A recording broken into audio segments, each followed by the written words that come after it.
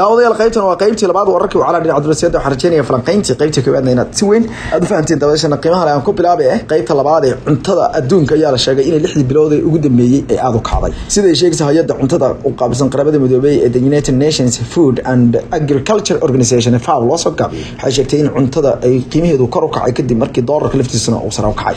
Iyadoo la qiimeynaya ayaa li wax soo saarka cuntada gaar ahaan tan loogu baahida badan yahay ayaa la sheegay in boqolkiiba labo bilihii ugu dambeeyey ay cuntadu kor u kacday si ay sheegaysa faw taasoo dhibaato xoogan ku noqon karaysa dadka danyarta ayay tiri faw.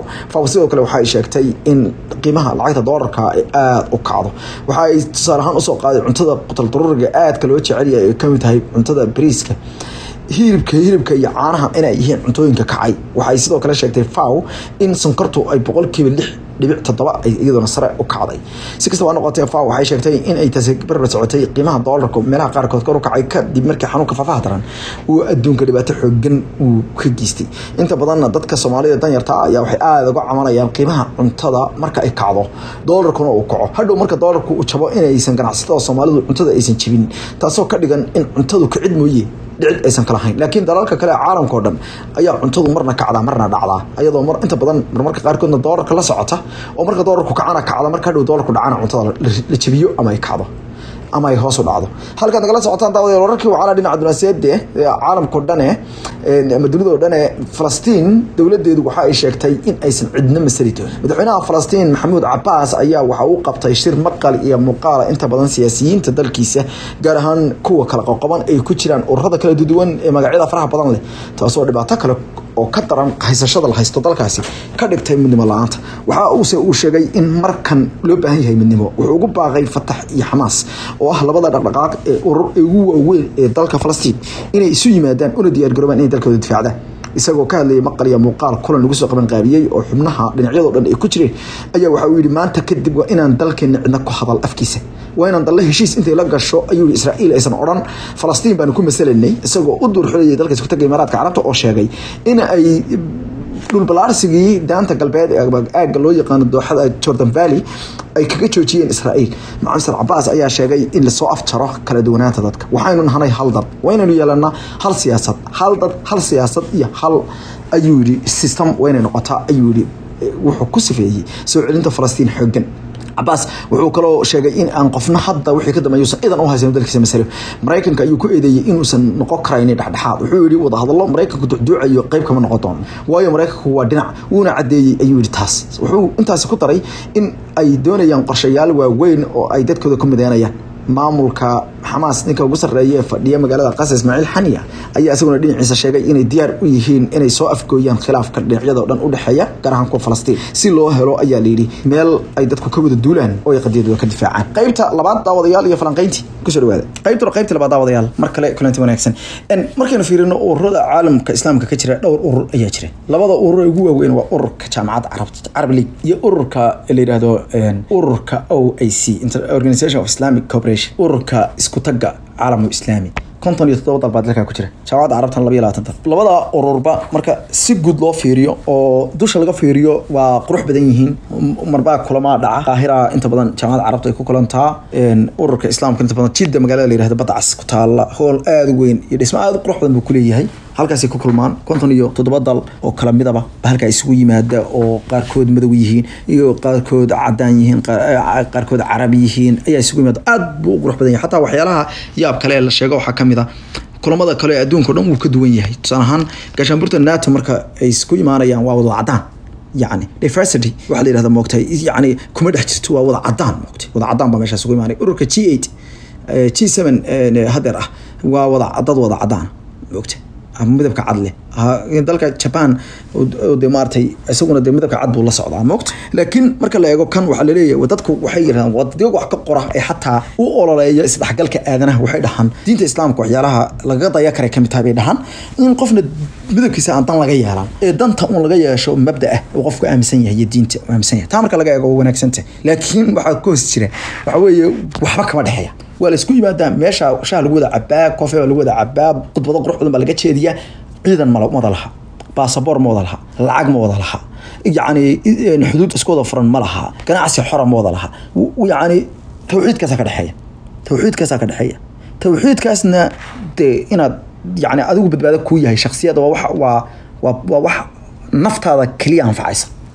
Mogti wax kasta oo aad adigu naftaada u samayso naftaada anfacaysa laakiin wax kasta oo wax naftaada ka baxsan u samayso dadka dhan bay waana qofka ugu khayrka badan aragta marka jaamacadda carabta oo ka koobneed laba iyo labaatan dala waa kadaalik iyaga lafkooda. Midabo kalea ku jir iyaga basaynu idin sheegnay inagoo soomaaliya ku jirnaba. Laakiin macna saamiisu wax allaale wax ka dhexeeya ma jiraan. Lacag ma laha military ma wada laha urur ma wada laha mowqif ma wada laha. Waxay mowqif ka wada qaadan kara la-yihiin danaha caalam islaami gaargaarka ah ee xataa daldalka inay go'aan ka wada gaaraan. Ururkii o s c saan idiin sheegay dhawaan waxaa khilaafka ugu weyn hadda uu dhex taagan yahay bakistan iyo sacuudiga. Bakistan iyo sacuudiga muxuu dhex taagan yahay? Mataqaana bakistan waxay ka codsata sacuudiga shir heer madaxeeda kashmiir arrimaheeda ka qabta berigii dhaweyd sannadkii hore markii laga lagala noqday ismaamul goboleedka hindiyana lagu cambaarayo maxamed bin salmaan baa si wacan mar loogu soo dhaweeyey hindiya wuu diiday wuxuu yihi aniga narana modi baan heshiis la soo galay may ma sameynayo cidna isku imaamiso markii dambe waxaa isku yimid wakiilo hoose. Dadka wakiilada ah xafiiskiyada ka shaqeeya ayaa isku yimid. Yacni aad iyo aad buu naaqusiyey moogta kadibna labadaa dal saasay kale way kala badsan yihiin haddeerto marka fiiri urur ururada aad aragtay mudaharaad baa wuxuu ka dhacay maalin dhaweyto dalka la yidhaahdo. Belarus. Belarus mudaharaad ka dhaca waa mudaharaado dad dad ay ku soo banaan baxeen. Weliba madaxweyne dad badan taageersan yihiin oo doorashadiisa lagu murmay. Madaxda yurub oo dhan baa shir deg deg isugu timi. Toddobiyo labaatan dal oo heer madaxeeda ayaa shir deg deg isugu yimi oo lagaga wada hadlay arrintaasi. Belarus iyo dadka mudaharaaday bal ummad dhan oo gumaysi ku jirto islaama oo intaasoo sannadood gumaysi ku jirta oo xuquuqdii hoose ee naagaha adigu gabadhaada saa doonta umeheri iyo. Gabadha ninka ratidsi iyo iskuullada yani waxaa looga xidha iyo sharacudi yareedays xukunka lagu sheegaya waa intaa ee laga qaaday kashmiir waxyaalaha laga qaaday waxa maxkamadaha iyo arrimaha guurka iyo arrimaha dhaxalka iyo waxyaalahaas ahaa lagala noqday.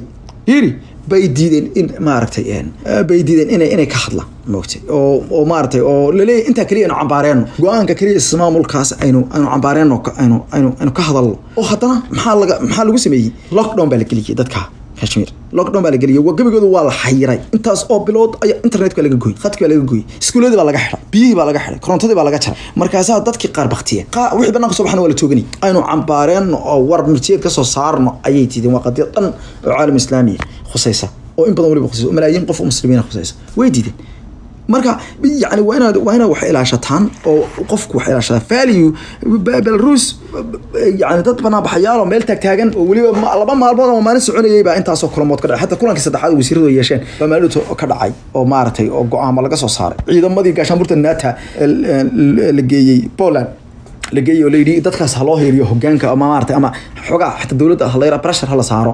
Dowladda madaxweynaha markaas alexander ninka la yidhahdo lukensho marka waxaan u baaha waxaan u baahannahay marka arrimahan hadeerto waxay hoosta ka xariiqday arrimo aada u waaweyn. Markaynu fiirino mar walba ama maalin kasta oo ka mid ah afartii sannadood ee ugu dambeeyey rufadh media waxay waday inay dunida iyo soomaalida isku xidho aynu fahanno maxaa caalamkan ka socda? Dhanka diblomaasiyadda dhanka sirdoonka dhaqaalaha amniga isku dhowaanshaha kala duruga iyo inaan fahanno wax badan oo inaga qarsoon. Maadaama warbaahinteena soomaalida keliya ay ku fogeneed arrimaha dhexdeenna iyo warar kokooban annagu laakiin maxaanu keennay falanqayn dhexgeyn iyo faahfaahin wararka sidan u dhigan ee soomaalida. Waa yani aadna wayna ugu cusbeen. Dunidiisa mar hore ayay ku tallaabsatay in warar falanqaysan faahfaahsan la kala dhigdhigay faaqidaad iyo xog uruurin baahsan ah. Yani oo sidan oo kale u kala dhigdhigan la keeno haddaba dhacdooyin badan oo taariikhi ah baa daawateen urfar media kuwa kuwa wanaagsan kuwa xanuun leh kuwa horumar maaratay leh dunida qaarkeed oo gaadhay horumar yacni muuqaalkan hadeerto idiin muuqda wuxuu muujinayaa mid ka mid a waxyaalaha inugu inugu kordhay. Muuqaalkan waa mid weji cusub u yeelay caalam islaami bal si wacan ugu fiirso waxaa lagu duubay telefoonka gaarka ah ee la taliyaha arrimaha bariga dhexe ee madaxweynaha maraykanka donald trump. Waa wiilka uu sodoga u yahay ee jared kushner.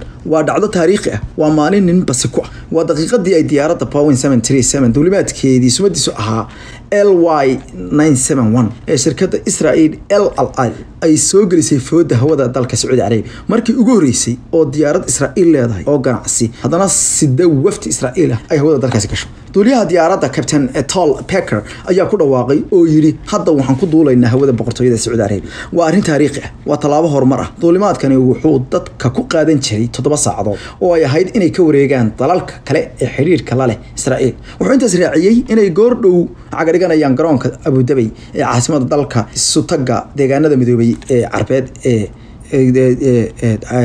imaaraadka. Farxad iyo sacabka dhacaya waad ujeeda waa dunida maanta waa dalalkii carbeed waa caasimadahooodii waa khaliijkii duuliyaha ayaa intaas inta aysan diyaaradiisu ka soo kicin garoonka ben gurion maalintii isniin ee talafib wuxuu sii sheegay inay heleen fasaxa inay dul maraan. Boqortooyada ama isticmaalaan ayay yidhahdeen ayuu yidhi hawada sacuudiga si dhabaha iyo duulimaadkuba u sahlanaado. Haddaba soomaali waxaan leeyahay farxaddaas diyaaraddaas gudaheeda ka muuqata. Ma maraykanka cid sanduleeyey? Mise dad iska sanduleysan oo madaxdoodii sidaas ka dhigtay ayay heleen maxaad ula yaabtaan siyaasiyiinta soomaalida ah ee dalalka sheeyaha xidhiirka laleh marka la dhaho dalkay iibsanayaan oo aad qabiil ula safataan haddaba haddaad doontaan la sii safnaada qofkaa doonto qofkaa doontana waa la kartaa. Laakiinse hadiidin yani hadiidin adduunka waxaan ay sameynayaan nimankan carbood markii dadkoodii duleeyeen ka adkaadeen ee ay khasbeen meel ku xidheen oo weliba dadkanu dad yani inaga fursad badan oo qaarkood aqoon bay haystaan oo yani fahan waxaa laga yaabaa qaarkood in inaga aqoon fiican yihiin iskuulla soo dhigteen oo wadankoodii degan yahay oo hadday internet bay haystaan oo way isku xidhan yihiin. Maanta hadday kacdoon yar sameeyaan waxaa laga yaabaaba inuu inay wax bedeli lahaayeen bal inaga oo dalkeenni xuduudihiisii uusan sugnayn amnigiisa isku wada furnayn gobol gobol iyo qabiil qabiil maamul goboleeda loo kala yahay. Maamul kasta oo qabiil ku dhisan yahay ku astaysan yahay la yaqaano madaxweynaha beri loo dooranayo puntland qolada uu noqonayo. Ka loo dooranayo britole somaliland la garanayo qolada uu noqonayo. Ka loo dooranayo xataa ku dar federaalka ka loo dooranayo la garanayo. Oo yacni halka burburkeenu gaadhay waa halka burburkeenu gaadhay aynu halka aynu halka gaadhsannahay haddii hogaamiye siyaasiyiin iyo niman shisheeye la soo heshiiyey ay yimaadaan oo intay lacag soo qaataan oo weliba ayagu laga yaabo inay waxaan sidan loola heshiinayaa bal kuwaan baahida badan qabin ee carbeed ee lacagta haystay baa waxaan sameynaya. Kuwa baahida badan qaba. Ee doonaya kursiga in loo iibiyo kursiga madaxtinimada in loo iibiyo maxaad malaynaysaa? Qof kasta oo soomaalinimo taageersan oo doonaya dadka soomaaliyeed in ay iyagu isdoortaan ama isdiidaan in la taageero waa sax. In laga soo horjeesto qof kasta oo doonaya inuu shisheeyaga wax ka soo gato oo runtii lagasoo liska soo horjeesto oo la diido aabbahaana ha noqdee waa mid damiirka ku jiro. Haddaan hadeerto aadan adduunkan ka diyaar garoobin oo aadan fahmin sida arrimuhu u socdaanna runtii waxay noqon doontaa mid aynu maalin kale ka shalayno si sahlan dalka loo kala qaybiyo. Si sahlan ciidamo shisheeye u soo galaan. Si sahlan dadka laysugu diro. Si sahlan sirdoonada laisugu adeegsado. Marka bal qaybaha kale waxaynu ku eegi doonaa saameynta suqadare iyaduna inagu yeelan doonto oo runtii iyadana saldhig hadeerta laga sameeyey iyo imaaraadka iyo dalalka kale oo dhan saameynta inagu yeelan doonaa